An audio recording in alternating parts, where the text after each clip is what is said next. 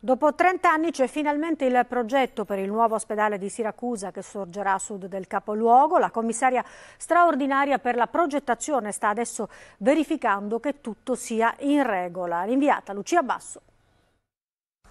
Siamo nella fase di accertamento eh, sul possesso dei requisiti in capo al provvisorio aggiudicatario. Completata questa fase che confido possa essere definita in pochi giorni, la settimana prossima il Presidente Musumeci verrà a presentare l'idea progettuale e subito dopo si partirà con l'affidamento e la stipula di un protocollo di legalità. A distanza di poco meno di sei mesi dalla nomina della prefetta Giusy Scaduto a commissario straordinario per la progettazione e la realizzazione realizzazione del nuovo ospedale di Siracusa a titolo gratuito, la commissione giudicatrice composta da esperti ha scelto al concorso di idee tra 15 proposte il progetto di un raggruppamento di studi con capofila Plicchi di Bologna in collaborazione con un altro studio di Trento e un altro spagnolo. 30 anni di attese e speranze per l'ospedale che sembrano diventare realtà.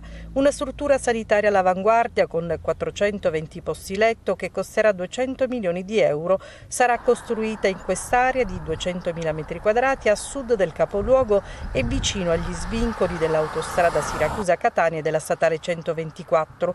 Dopo le verifiche, la società scelta con il concorso di idee dovrà presentare il progetto preliminare, poi quello definitivo e infine il progetto esecutivo.